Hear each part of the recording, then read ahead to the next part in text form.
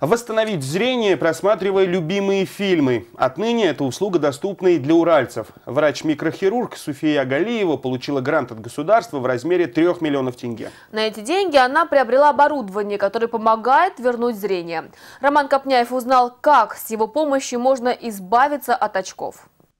Специалисты от медицины отмечают, что сейчас практически половина населения имеет проблемы со зрением, и нагрузка на глаза растет день ото дня. Новый комплекс Амблеокор стоит более 4 миллионов тенге. 3 миллиона были выделены в качестве инновационного гранта по программе «Дорожная карта бизнеса-2020». Остальные деньги врач-микрохирург Суфия Галиева добавила сама. Мы разработали бизнес-план, обратились в департамент предпринимательства, узнали, что государство оказывает помощь начинающим предпринимателям и а, выступили с презентацией нашего проекта.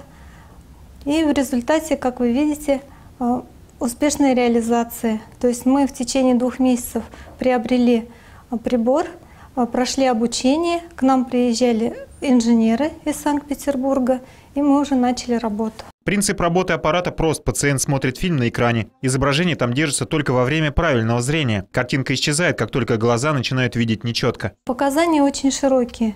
А, возраст э, от трех лет и э, практически без ограничений. Лечение приятное, то есть пациенту пациент совмещает приятное с полезным. То есть он смотрит интересный ему фильм, и в это время идет а, лечение. И одновременно доктор наблюдает э, работу зрительной системы в режиме онлайн. Вот как вы видите на экране, идет электроэнцефалограмма. Государственная поддержка помогла сделать сеансы доступными для клиентов. 20-минутный курс стоит около 500 тенге. Татьяна Пачкольна перенесла уже 7 операций на глазах. Помощь современного прибора оказалась ей как нельзя кстати. У меня слоение сетчатки.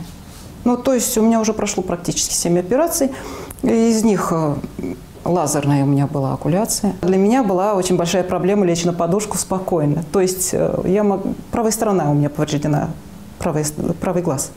На подушку лечь, мне это все было больно, как от удара. Сейчас вот после ощущения у меня были сразу же приятные после второго сеанса. То есть я могла уснуть спокойной душой.